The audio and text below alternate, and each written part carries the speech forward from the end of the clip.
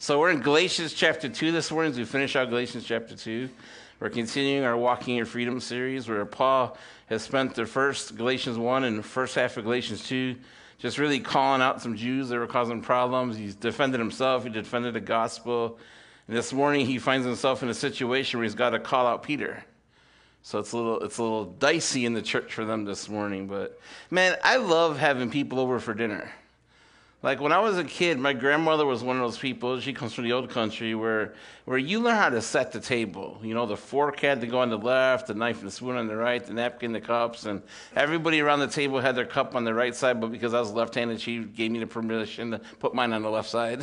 so I was an oddball on the table. So you looked across the dinner table, there was always the, left-handed person's thing, but for her, it was always a big deal. Like family dinners and things like that. Like back in the day, everybody had family dinner. And family dinner was so important that it was around dinner you discussed your day and what was going on in life. You heard, you heard grandpa talk about work and grandma share about her job and mom, and dad, whoever. And anybody love family dinners? That's one thing I love about living in West Virginia. Some of you guys, you have family dinners. You guys meet every month or so often. You, you tear up the fellowship hall and you have dinner and you make a mess and we love it. And but no, I'm joking. You guys do a great job cleaning up. But I love to see you guys celebrating family dinners. You know, family dinners look different in each home, doesn't it? So when we were growing up, grandma was all formal, where everything stayed in the kitchen and she served you your food as you went to sit down. So she dictated what portions you got, what you got, and all that kind of stuff. And you go sit around the table because she wanted the table nice and clean because there was, there was always a centerpiece and that kind of stuff. And when I got with Rami, um, 29 years ago today, amen, um, her family were the opposite. Her family, everything went to the table and you just dug in as you're eating around the table. So there was there was nothing formal about it. It was like everything made it to the table, and you just eat the way you want. And there was you know there was no place settings and all that kind of stuff. It was like let's just eat and go for it. And that's actually how we do it. So we're not as formal as my grandmother was, but we actually just toss everything on the table and you help yourself. So if you have dinner with us, you know that. When Robbie and I got saved, we got saved in a church in Chicago, um, also 29 years ago this past July. Um, amen. And we got saved in that church, and that was a church of 8,000 people that represented the city, and it was a melting pot of people. So our small groups are not just white people. I mean, we had we were in part of a Hispanic group for a while. We had Indian, we had Asian, we had Italian. I mean, Chicago's divided up by neighborhoods by ethnicity.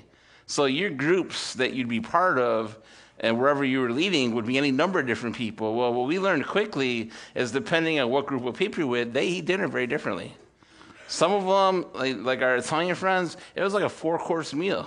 You start out with your bread and you start out with your appetizer and so on, and you work your way through a salad and maybe some soup, and then you work your way through a meal, and then there's dessert and so on, and that's all formal. Whereas more of our Hispanic friends, like Rami's family, it's not so formal. It's like everybody brings something. It's like a potluck and throw together. Some of our some of our friends would be the kind of people. If you were Indian or more traditional, or more old world, dinner was very serious, and no matter what they put out in front of you, you had to eat. Well, there is some things in some of those nationalities that I don't know what they're called. you know, somebody puts something in front of you, you're like, what is that? And they tell you, like, I don't know if I want to eat that. but you kind of have to because if you don't, it's kind of disrespectful, right? And you know, you don't want to be disrespectful. So I mastered the trick of putting it up and letting it fall onto the dog real quick. and I'm sure people did at my cooking over the years too. But dinner is, is such a special time. You know, we saw in Acts chapter 2 that the early disciples, one of the key things that defined them as a church is they had meals together. One thing I love about New Beginnings here is I love our, our every other month potluck that we're doing. You know, this coming Christmas, we're going to host a holiday dinner together. We're going to have a holiday dinner here at the church. Turkey, the whole fixings, and the whole nine yards. That'll be sometime between Thanksgiving and Christmas. We're, we're even going to do a white elephant gift exchange where we're going to ask you to wrap the weirdest thing you got in your house and give it away as a gift. And we might actually bid on those things. So you might end up paying $50 for a roll of toilet paper or something. Can you imagine that? I've done that before. I paid an extreme amount of money for a can of chip, chicken soup one year. So, chicken soup. But meals together is so incredible. And this is where we find the disciples this morning. They're having a meal together between the Jews and the Gentiles and the apostles, and yet something goes wrong at this meal. So, turn with me to Galatians chapter 2, verses 11 to 21. Galatians chapter 2, verses 11 to 21. Our scripture says this. But when Cephas came to Antioch, I opposed him to his face and he, because he stood condemned. And before certain men came from James, he was eating with the Gentiles. But when they came, he drew back and separated himself, fearing the circumcision party. And the rest of the Jews acted hypocritically along with him, so that even Barnabas was led astray by their hypocrisy. But when I saw that their conduct was not in step with the truth of the gospel, I said to Cephas before them all, If you, though a Jew, live like a Gentile, not like a Jew, how are you to force the Gentiles to live like Jews?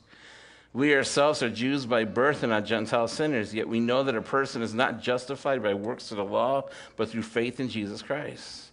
So we also have believed in Christ Jesus in order to be justified by faith in Christ and not by the works of the law, because the works of the law no one will be justified.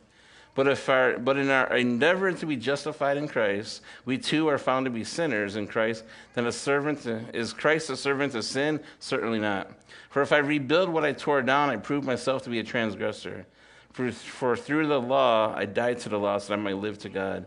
I've been crucified with Christ, and it is no longer I who live, but Christ who lives in me. And the life I now live in the flesh, I live by the faith in the Son of God, who loved me and gave himself up for me. I do not nullify the grace of God, for if righteousness were through the law, then Christ died for no purpose. What an opening statement here. Because Cephas came to Antioch. Cephas is Peter, it's his Jewish name. I opposed him to his face, Paul says.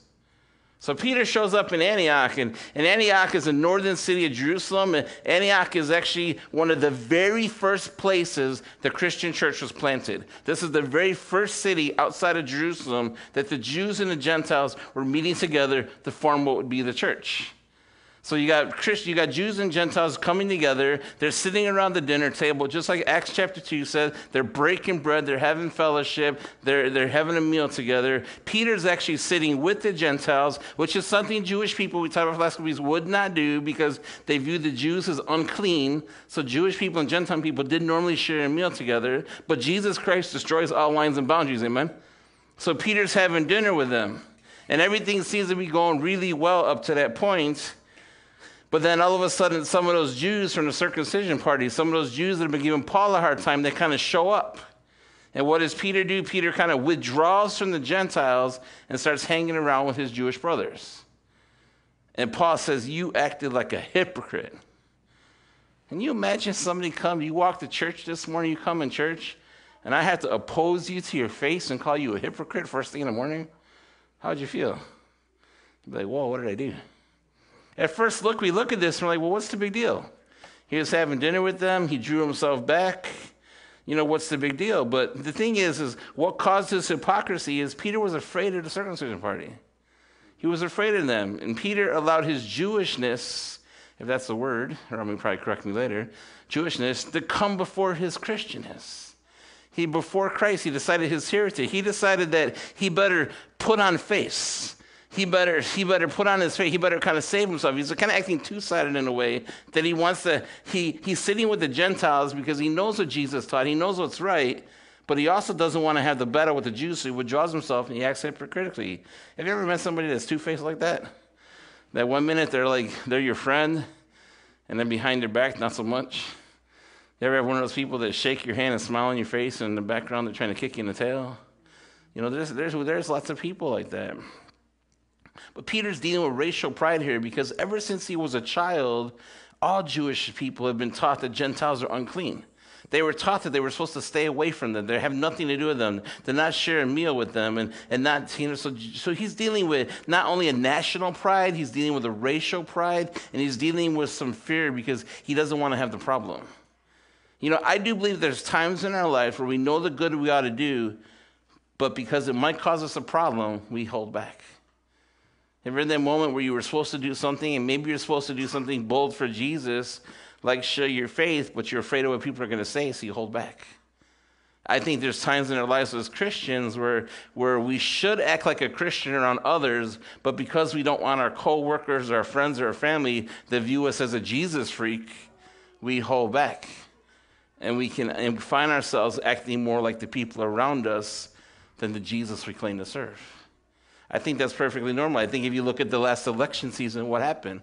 So many Christians lost their witness over Trump, over Biden, over politics, over Democrat, Republican, whatever. They're, they're choosing their racial pride, their national pride, and all this stuff. And they were choosing that stuff over Jesus because Jesus calls us to unity. See, Jesus breaks all racial, all national, he breaks down all those lines. And in Christ, we should be one in Christ Jesus. I should look at my brother Andrew, who's different than I am, and still love him and want to serve him and have a meal with him, versus looking at our differences. But this wasn't the case here. So Paul's upset with this, and Paul says, you know what? This is, this is a gospel issue.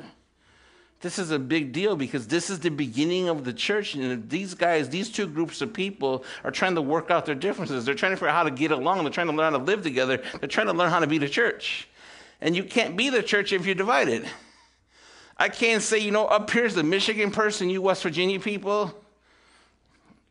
I can't hang out with you. Not from around here, right? That wouldn't be right, right? That'd be horrible. Thank God that was the case. Because when I was coming down here, some people told Rami and I we are planting new beginnings. Just said, you know, those people in West Virginia might take a while to warm up to you. Praise God, that's not the case. We love you guys. You love us back. It's been awesome. But there is those divides in people. And here's the deal with Peter: is Peter should have knew better. See, a little earlier in Acts chapter 10, Peter has a vision one day on a rooftop. Acts chapter 10, verses 19 through 16 says this. The next day, as they were on their journey and approaching the city, Peter went up to the housetop about the sixth hour to pray. And he became hungry, and he wanted something to eat. And while they were preparing it, he fell into a trance. He saw the heavens open and something like a great sheet descending, being let down by the four corners upon the earth. In it were all kinds of animals, reptiles, birds of the air. And there came a voice to him saying, Peter, kill and eat.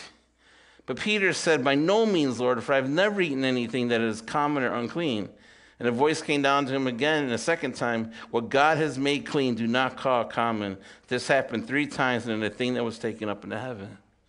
This is when Peter was about to meet a man named Cornelius. Peter was about to lead his first Gentile to Christ, his first Gentile family. And God shows him a vision to say, Don't you call anything that I've created unclean or common. See, God was changing things because, yes, they grew up learning that they were the Gentiles are unclean and so on, but God had a purpose all along. God had something new you want to do. And it says this in Acts chapter 10, verses 34 and 35. This is the lesson Peter learned. So Peter opens his mouth. So when Peter gets down around the people, he says, Truly I understand that God shows no partiality, but in every nation, anyone who fears him and does what is right is acceptable to him. That's the lesson Peter learned before this dinner ever took place. So, this is why Paul's kind of upset because Paul's like, You're an apostle of Christ. You should know better. That's not the way we should act. That's not the way we should treat people. We have to remember that walking in freedom means we treat all people the same, that with the same value and worth that God affords us. We don't judge the way the world does because the gospel comes first. In this church, all people, no matter who you are, no matter what your background is, no matter what's going on in your life, you are loved. You're welcome because Christ Jesus welcomes you. We don't stand at the door down there and ask you what you're into and what you're part of and where you come from and all that kind of stuff, and then decide where you could sit. You know, sinners in the front row, saved people in the back, and all that kind of stuff. We, we just don't do that kind of stuff. And here you're welcome around the dinner table because Jesus welcomes you, and that's our job to welcome you. So Peter had a lesson to learn here. What Peter did was wrong, and what he did was hypocritical, and what he did led some people astray. But see, Paul has an answer here. So, in, going back to Galatians chapter 2, verses 13 and 14, and the rest of the Jews acted hypocritically along with him, so that even Barnabas was led astray. Now, Barnabas was a new brother in Christ that Paul brought to Jerusalem to show what was going on. But when he saw their conduct was not in step with the truth of the gospel, I said to Cephas before them all, If you, though like a Jew, live like a Gentile, not like a Jew, how can you force the Gentiles to live like Jews? Peter himself wasn't even living like a Jew. He was living like a vagabond. He was going town to town and not with anything with him. He was living a Gentile kind of life. So, so it should have been more comfortable for him to stay around the table than to go around the religiously. But as I said, sometimes when you're trying to save face, you do things that don't make any sense. So Paul calls Peter out. And what he says is, he says, Man, you, your conduct is not in step with the gospel. And what that in step means is you're not walking straight. Peter, in that moment, you started walking crooked and you let your Jewishness become before what was right before God and right before men. Sometimes we have to challenge somebody in the church. You know, church discipline is never easy. It is not my favorite thing when I have to sit somebody down and discipline them because Andrew did something wrong and we got to have a talk again. Joking. But the Bible says we have to correct, rebuke, and encourage. There's times that people need to be rebuked. There's times they need to be corrected. There's times they need to be encouraged, and that's our job. And sometimes I have to sit somebody down and point out their hypocrisy and their sin because that's what I'm supposed to do. And that's never easy, and most people don't like that. And you want to get some hating on the pastor going on. Let me call out your sin and see how you feel about it. but the truth is, sometimes church discipline is necessary. But here's the thing the gospel has vast implications for us all. We're supposed to walk in step with the gospel which means in line with the gospel. The gospel should mean so much to our lives that we should understand it. Our lives should go in the thrust of it, the direction of it, where Christ is going, we're going. Our job is to realign our lives to the gospel so that our lives match up with the truth of who Jesus is. Our, our lives should look more like Jesus than the world. The gospel truth is radically opposed to the assumptions of the world. But since we lived in the world, so many of us have embraced the worldly assumptions. We dress like the world, we talk like the world, we act like the world, and because we accept these things, following Jesus is not easy. But what happens is, is our life needs to be realigned. See, when you accept Christ Jesus as your Lord and Savior, what you're saying is, Jesus, the way I've been doing things doesn't work. The way I've been going isn't working out for me. I've, I've made a mess of my life. I've fallen away, Lord, or I've never met you. Lord, it's not going straight. And when you give your life to Jesus, you have to bring your life into alignment with Him, which means you're supposed to follow Him. So as Jesus walks straight towards the cross and the Father, that's the direction you're supposed to go. But so many of us get sidestepped. You know, a couple months ago, we needed new tires on a Jeep. Now, we had just came back from Michigan and we made it back safely. And the next morning, as Ram was getting up for work, we had a flat tire. We go over here to CK Auto, and they're going to fix the tire for us. And what they found is that we were so far out of alignment that the inside of our front tires was so worn you could see the threads. And the guy said, You can't drive it like this. You're, you're going to blow a tire and get an accident. And we're like, We just drove hundreds of miles back home to visit our kids. What are you talking about? And by the grace of God, we made it. But our tires were so out of alignment that our tires were shot. They were completely blown. We had to buy new tires. Now, nobody likes to buy new tires, especially when it isn't time yet. But you know what? Our lives are like that. Our lives are just like those tires. When we're out of alignment with God, we wear ourselves out and damage our lives in any number of ways. What is going on in your life this morning? Would you say that you're in alignment with God or are you in alignment with something else? Is your life going in the direction of Christ so that you're becoming more like Jesus? Or is your life in the direction of something you've created or something else going on? We, we cannot and this is what Paul's getting here. You cannot say you follow Christ and then walk in a different direction than Christ. It don't work that way. It just does not. You cannot follow Christ and have a sinful lifestyle or a sinful attitude and say, I follow Jesus. It doesn't work that way. Paul would say, You're a hypocrite. So he would say, Stop living hypocritically this morning and get your life in line. Do some repenting and do some turning around because life is just better when we walk straight with Jesus. Amen. It's so much better when I got those new tires on the car and it's like, well, my wife's safe going to work now. I'm safe running errands. It feels so much better. Had I known those tires were shot like that, I wouldn't have been in Michigan that week.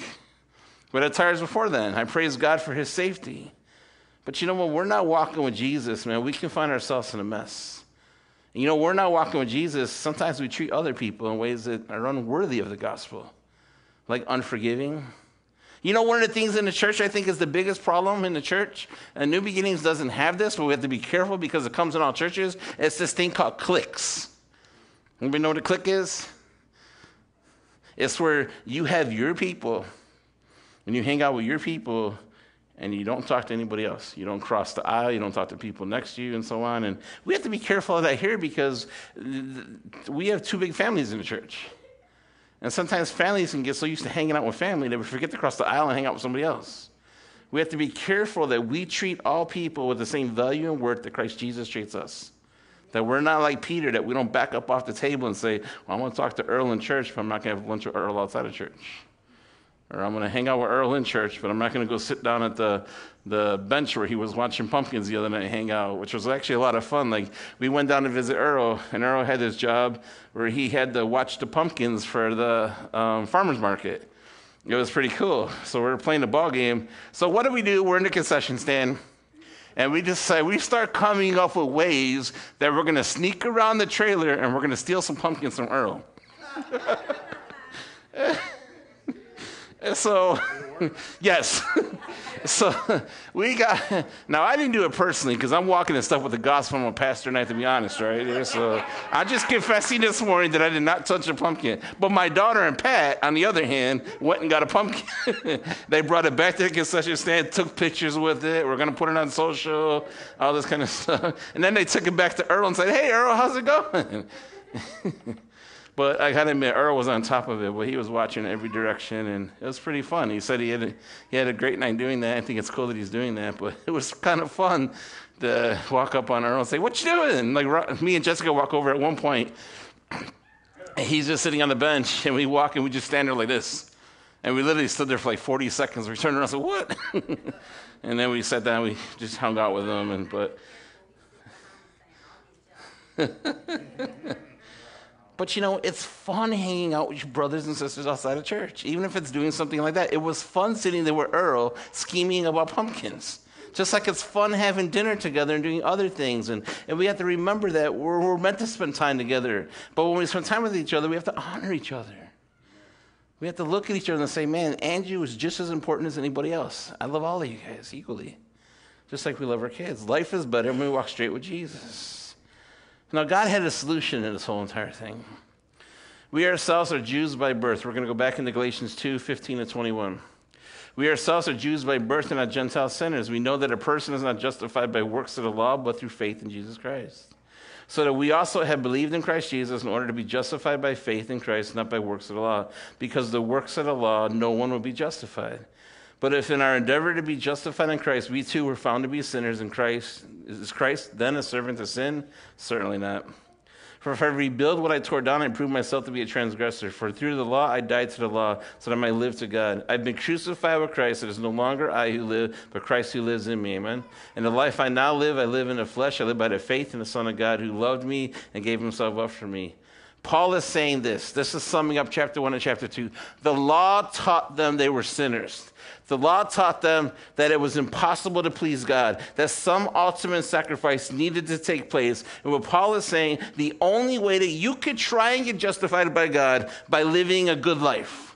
You, you could try and just be a really good person, and you, you, you, just you could try and just check off a list of good deeds and all this kind of stuff, but it's, it's always going to fall short because even though the law told them how to live and gave them things they could do, they could never fully live up to it because we're rebellious in nature. It's only in Jesus Christ do we find justification. Do we find that God? And I, I, thought about this this week as I was wrapping up chapter two. I thought, I just stopped and I had this worship moment where God said, It is so radically incredible to think that God looks at me and says, Bob, I know you're a sinner. I know you're rebellious. I know everything about you. I know how you lived your life before me. And yet, you know what I'm going to do? If you trust my plan for salvation and trust my son, I'm just going to forgive you. Just like that. No, no, no, no Hail Marys and stuff that other churches do.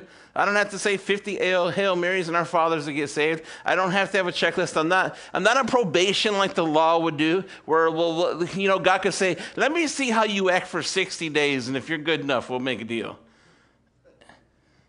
right? Some of us, we do that with our own families. I love you, but you got to do this first. We see, we see this in marriage all the time the lie of the 50 50. Well, if you do your part, I'll do my part. That's not love. Agape love is, you know what? I've been married 29 years today. I have to do 100%, and Rami does 100%. And that's 100% chasing Jesus. That's the only way you can be married 29 years and be as happy as we are is Jesus. What do you do? You get up on the day of your anniversary, you worship the Lord. Thank God, here's another year. It's awesome. I get to love this woman. It, it has to realize that God gives us to this. And we can't squander. If God's going to look at Andrew and say, Man, Andrew, I know what a rebellious sinner you are, but because you trust my son, I'm just going to forgive you of everything, just like that. That is so radically incredible. You talk about love. What if we loved people around us the same way? What if when somebody did something wrong and they showed some repentance, we just said it's done? No record of wrongs, no bringing it up later, no repercussions, no punishment, no nothing. It's just done. What if the next time, I was challenged this yesterday, what if the next time Jessica does something that we disagree with, because that happens at times, and she says, I'm sorry, then I look at her the way God does, okay, done. I'm not going to talk to you a week later about what you did last week. What if in my marriage I did the same thing? I, I, I loved the way God did. And when we did something wrong to each other, if we, if we repented to each other, we said, I'm done. No record of wrongs, never bringing it up again, just forgiveness. What if we did that with the people around us? Those people around you that are hard to forgive, and they've said, they've, they've said, Will you forgive me? But you, you feel like you're above God because you got that record of wrongs going on. Boy, let me tell you what you did last week and last year and last month. You know, let me tell you how wrong you are. Let me tell you how broken you are. Married couples this morning, if that's the way you're living, you're a hypocrite because you're not following Jesus. Because in your marriage, you got to forgive. You got to look at your spouse and say, if, if your spouse comes to you and says, Will you forgive me? Then you should have the same attitude of Christ and say, Done. I think if we had that kind of love for people, people would be drawn to Jesus pretty quickly. But see, I think as Christians, sometimes we fail with that kind of love. We, we have a hard time with that kind of love because when people wrong us, we feel like, well, I got to pay them back. I got to pay. I got to get even. Who are you to tell me, Bob, I can't get even? Do you know what they did to me? I know what we did to Jesus, and God said, I forgive you. It's crazy, isn't it? Paul's talking about justification for two chapters here, and we got to stop and think, this is incredible. This is why he's defending this so strongly because he's saying it doesn't matter what we've done. If we trust God and trust Jesus for our salvation and God's plan, we are just forgiven like that. Can I get an amen this morning? Amen. Anybody in the church been forgiven? Amen. I hope to God, you, if you haven't, we're going to make a way for you to do that today. So it's just Jesus. It's just Jesus that forgives you. So Paul goes on to say, and he's talking about justification. He said, man, the, the law can't do it for us. You, you could try to follow the law, but it can't do it for us. But it's only in Christ Jesus. In Christ Jesus, you're justified. I want you to know this morning. Our justification affords us transformation. You know, and there's a strong warning in verse 17 that Paul says, you can't squander this. You have to be in step with the gospel. We cannot claim Christ and then squander our justification in unrepented sin. That's hypocritical. If you're in this morning and you're in church and you're like, hey, brother, I'm a Christian, you know, and, and you're just in church talking to talk, but at home you're living in unrepented sin, man, you're just a hypocrite. You're lying. That's what the Bible says. You can't do that. Like if you've been forgiven, you need to claim that. And that's what walking in freedom is. Walking in freedom is this that if Christ Jesus has forgiven me, I get to walk like I'm forgiven. And if I walk like I'm forgiven, why would I want to give that back? Why would I want to go backwards? If God has set me free, then I'm free indeed, the scripture says. I don't want to walk backwards, I want to walk forward, which means I'm going to be in church thinking, I want more of you. Amen. The only way, Jesus, I'm going to walk this out is I want more of you. I need more, amen? We all need more. Paul says that Christ is not a servant to sin, amen? He says what's been torn down can't be rebuilt. This is the problem some of us have is, is on the cross, Jesus Christ, he tore down the strongholds. He, he tore down our addictions and our hurts and our hangups and whatever it is he wants to abolish and get rid of. And if it's done with Christ, it should be done with you. But some of us, we keep trying to put them things back together. We can't. You, you have to make a decision this morning, man, that if God is going to forgive me, that I want to walk in that forgiveness. That walking in freedom is, I'm not going backwards. I can't. So I'm going to do whatever it takes in my life to walk forward because our justification affords us transformation. Amen. If we could earn our salvation by living a good life, then Jesus died for nothing. But because we couldn't save ourselves, Jesus died for everything. He died for everything. So Galatians 2:20.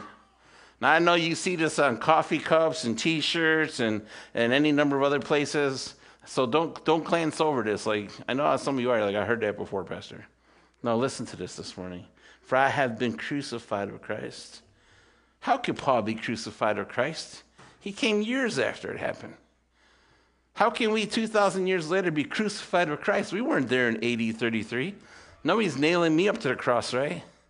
It's a unique statement, Paul saying, if I've been crucified with Christ. And what that means is this is that, is that when I give my life to Jesus completely, I have to die to myself. I have to die to my sin. Those things get nailed to the cross. And this isn't, Paul's not talking symbolically, he's talking literally. He's saying this is really what happens. This is a supernatural act of God. That when you die to yourself, you die in Christ Jesus.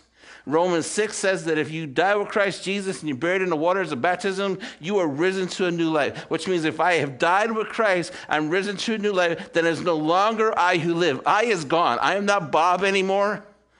Right? I'm not Bob anymore. I'm a child of God. I'm not my former self. My former self has been crucified with Christ. And if I've been hung on the cross with Jesus and I've died to my old self, why in the world would I want to go back to that? Why? For it's no longer I who live, but Christ who lives in me. And the life I now live, I live in the flesh. And I live by faith in the Son of God who loved me and gave himself for me. If I could paraphrase Paul this morning, it says this The law showed me that I could never make myself acceptable through it, so I stopped living to it. I died to it as my Savior. Though I obeyed it before God, I was simply to get something from Him. It was for my own sake.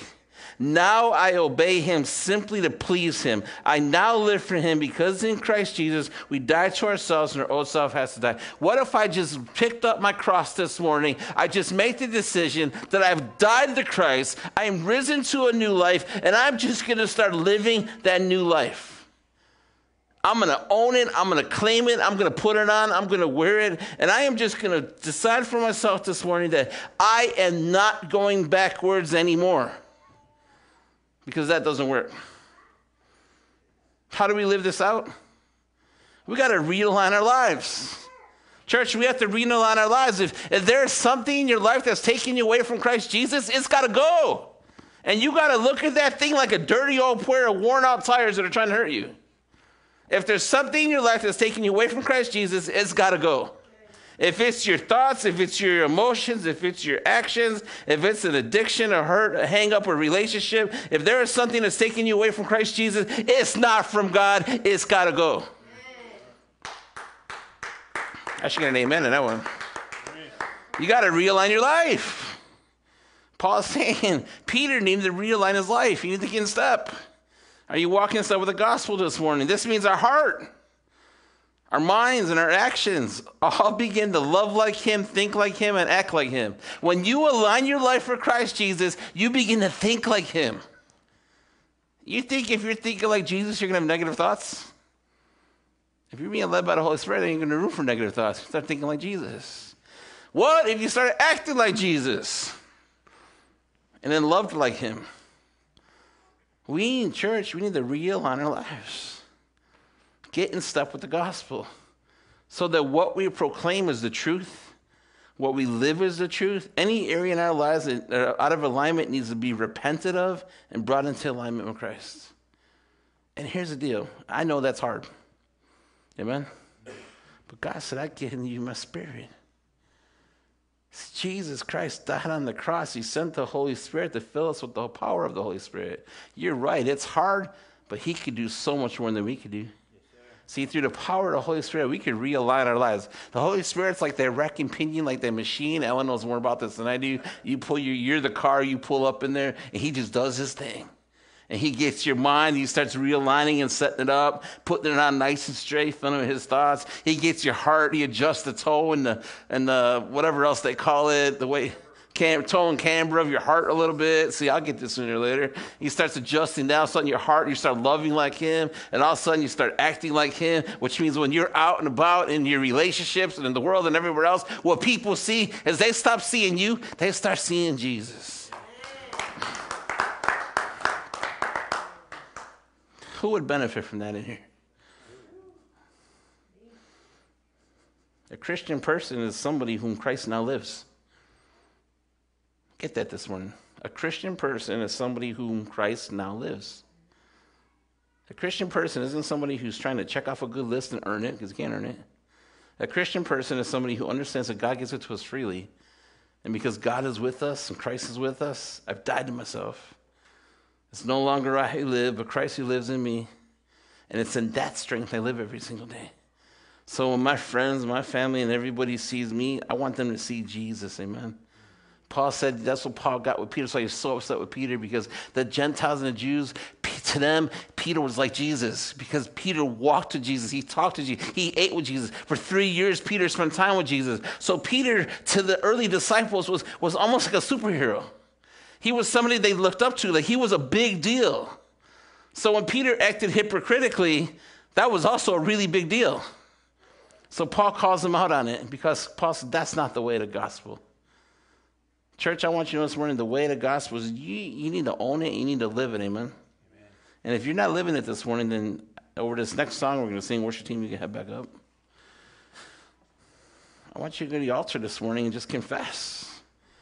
Don't leave this church out of alignment and go limping down the street and limping through life. If you're not walking with, if you haven't been walking with Jesus and you've been sinning lately, you need to repent this morning. Because if Christ came back this afternoon, you don't want that conversation he's going to have with you. You need to repent. And you need to die to yourself. Maybe you've been struggling with some things in your life and, and this following Jesus has been hard. You need to die to yourself to say, let this be the day that you die. September 25th, 2020 is the is 2022 is the day I died to myself. Because I want Christ to start living in me. I want my heart, my mind, and my actions to love like Him, to act like Him, to think like Him. Because I understand that a Christian, who's who I want to be, is a person whom Christ now lives. He lives inside of you. This is what walking in freedom is all about. Walking in your freedom is this Christ now lives inside of you. And if Christ lives inside of you, then man, you could do, uh, you could do amazing things. Jesus himself said, Greater things are you going to do. If Christ is living inside of you, you have every power to overcome sin, to overcome temptation, to overcome addiction and brokenness, or whatever it is. Jesus Christ living inside of you is enough to heal you and set you straight on that straight path. He will realign your life if you just ask Him for it. Lord, realign my life. I'm out of alignment. But you know, when you ask Him for it and He does it, then you got to start walking in it. You know, you get that pep in your step, right? you get happy. I've been forgiven, I'm happy. I've been set free, I'm happy. Next time temptation comes and hits, you look at that temptation, you say, I've been set free. Next time you're tempted to do something that's not Christ like, you look in the mirror and you imagine Jesus standing there. Next time you're threatened to talk to somebody or do something that's unbecoming of a Christian, just remember Jesus is with you. See, sometimes I think that if we could see him in the room, we'd be different. He is in the room. My Bible did not Jesus promise, Hello, I'm always with you. Always. Every step, of he's always with us. So I can walk with him, and that's what walking in freedom is all about. I get to walk with Jesus. This is why this was such. This is why chapter one and such, chapter two was such a big deal to Paul. He's looking at these Judaizers and they're telling them they need religion, they need this and that. And Paul's like, "You only need Jesus." Amen. I'm ask Tom to come forward this morning. I'm ask um, Andrew to come forward this morning. These brothers are going to be standing up here at the altar this morning, whether you need anointing, whether you need prayer whether you need confession, don't be afraid. Look, I'm telling you something. Peter was afraid of what people thought of him, and that got him in trouble. Don't do that in the church. If, if you need the altar this morning, you run up here because you know what? The only person you need to worry about is what Jesus thinks. So don't be one of those people like, oh, I'm a little, I don't want to go up there because then people are going to know. Who cares? You run up here, man. You take care of your business, amen?